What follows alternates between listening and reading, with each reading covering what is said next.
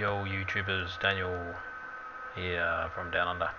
Uh, another FSX video for Steam. Um, Steam Edition is uh, pretty tricky when it comes to um, add-ons, etc. Um, it is getting better, but most of the developers are now um, catering for Steam. But uh, when I bought Steam, uh, it was about 40% and 60% didn't. But um, anyway, you can see this generous list of files that I have, which are basically all my add-ons that I've that I used to get FSX to look the, the way it did in my last video on triple screens. Um, anyway, you guys probably don't know. If you don't know what this is, Active Sky Next basically is the weather engine that will hook up. Um, it's a payware. It will hook up to uh, FSX and download the real live weather, and you can program your routes into this, um, and it'll give you the uh, the clouds and, and, the weather conditions of, of that particular time in that particular part of the world. So that's Active Sky Next. I'm going to be pretty brief with all these guys, so I don't bore the crap out of you. Um, as far as all add-on scenery airports, um, airports, there's a lot of add-on airports. The majority of the ones that people would know about would be the Aerosoft airports, um, which is obviously, uh, you know, uh, all your oh, London, your German airports, etc. You can see them all there pretty much fairly clearly.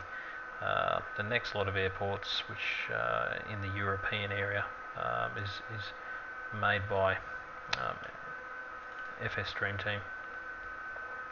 There's a few, actually not FS Dream Team, it will be UK 2000, which a lot of people know about. Um, obviously, you can see the airports I have here, which is basically based in the UK area, which hence being UK 2000. Um, other airports that I liked that are quite good, obviously you've got your FlyTampa airports as well, which are all in there. Um, all these airports are obviously payware airports. You've got to pay for them, but trust me, they're worth it. They're pretty good. They're pretty damn awesome. Um, where I fly, um, uh, the airports just make all the difference as far as I'm concerned. So they're the main airports. Basically, uh, Hong Kong is um, taxi to the gate. Hong Kong.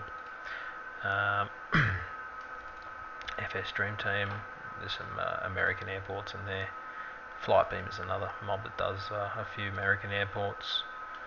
Uh, and then you've got obviously your Orbx stuff, Brisbane and and, uh, and Melbourne, etc. for uh, Orbx.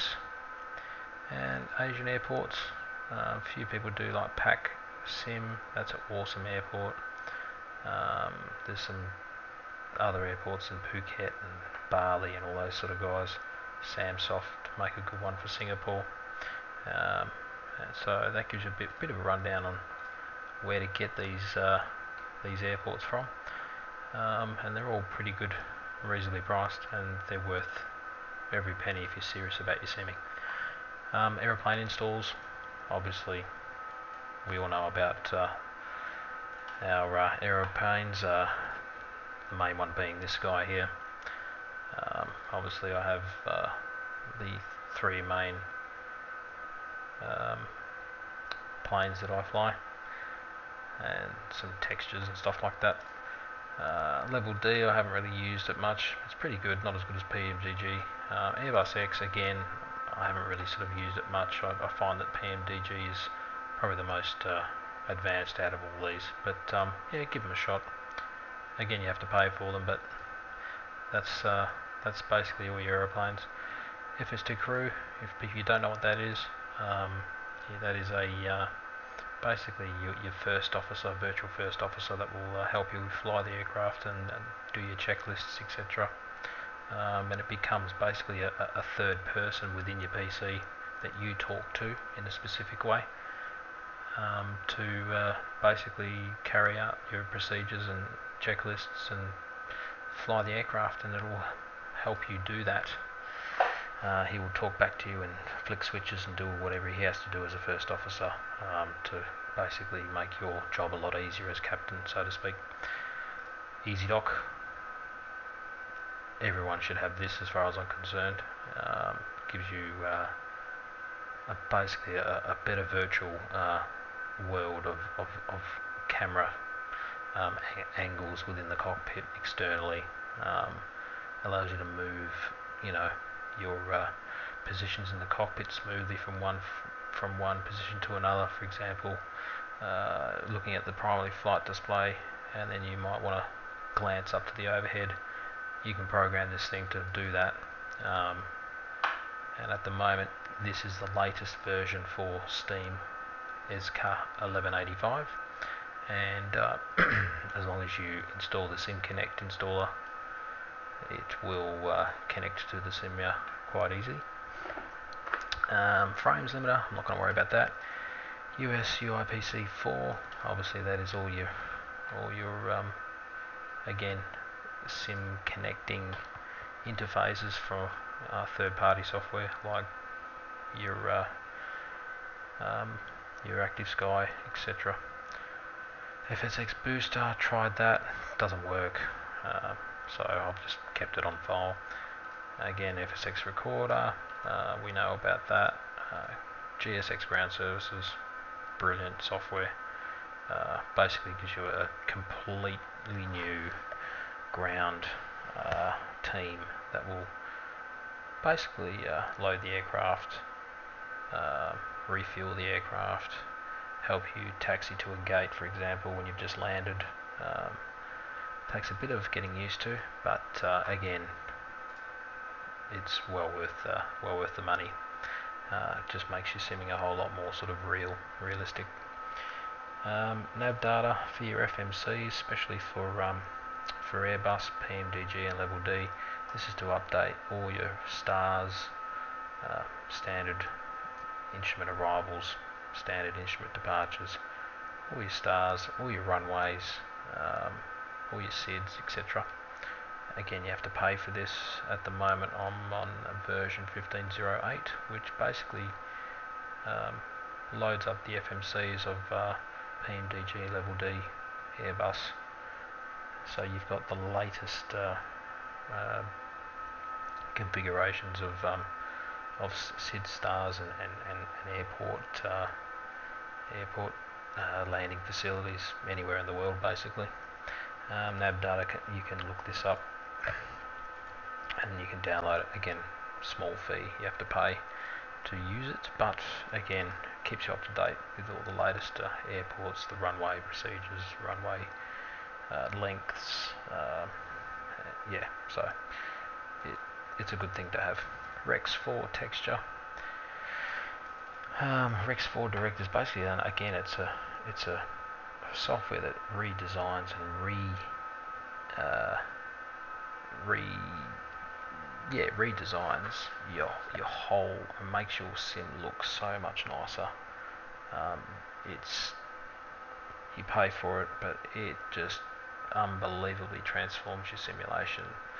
The way the sky looks, the way the clouds look, the way your taxiways, your runways look, your lines, your numbers on the taxiways, um, the type of tarmac or concrete. It does all that. Um, awesome software. Soft Clouds again is a piggyback uh, version of. Well, it, it works with the Rex 4, and this is purely and simply to redesign uh, absolutely photorealistic uh, 3D clouds, um, all different types of clouds. Uh, again, these two are, are pay where but this transforms and helps you transform Flight Simulator X into basically the uh, the 21st century of uh, high res um, textures and, and, and clouds etc. I use uh, in Steam I've used um, DirectX 9 and DirectX 10 Steve's DirectX 10 fixer is brilliant. Um, it does fix all the bugs with DirectX 10 being ticked in your FSX to be used. Um, again, brilliant piece of software. Um, it just fixes and goes through every single thing.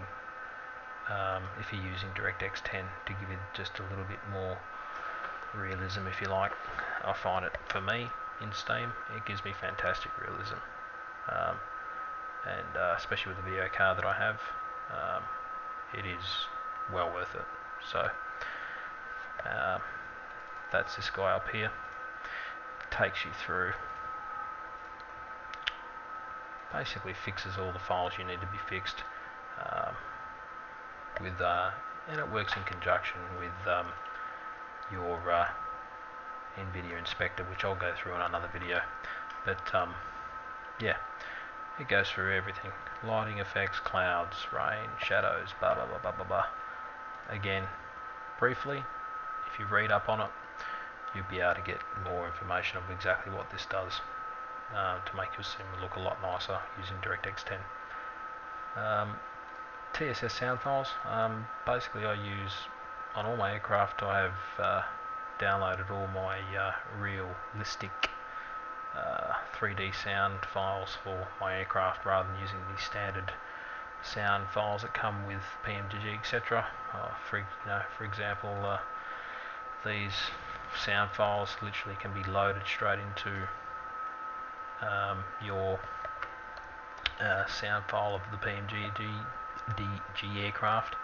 For example, if I was to go to this guy here, that sound file there would be loaded into your uh, let's open up another file quickly. I'll quickly show you. So we'll get into that's the sound file I want to put in. And this is where we would go. We would go to the Steam Steam Steam apps. This is where your uh, FSX uh, program file is actually common.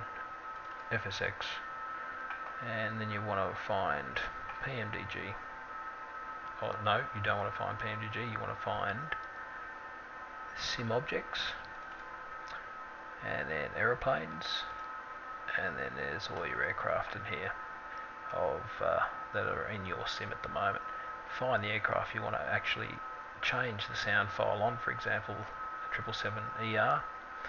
Um, if I wanted to change that sound file, I'd literally click on that, and there's the sound file there that you would literally drop and drag straight over to this guy here, and it would replace the sound with the new TSS Pratt & Whitney uh, sound engines with the standard PMDG sound file.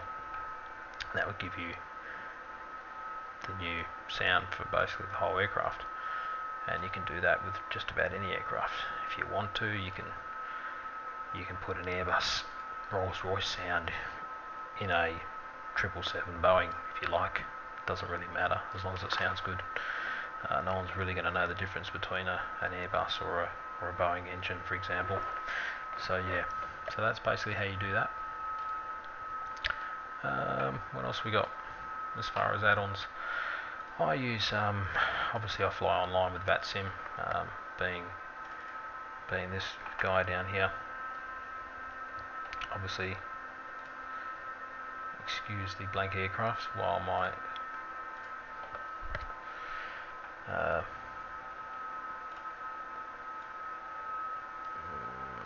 what's this doing? Okay. Okay, so this is basically vPilot, which allows me to hook online and fly online with VATSIM. So I'm pretty sure you guys have seen this before. Um, as far as um, vPilot is concerned, um, vPilot is very handy when it comes to um, uh, basically uh, working out flight plans and and loading them as files straight into the aircraft's FMC. Also loading files up for um, for Active Sky Next, as well as um, vPilot itself, which is filing a flight plan for here, for example.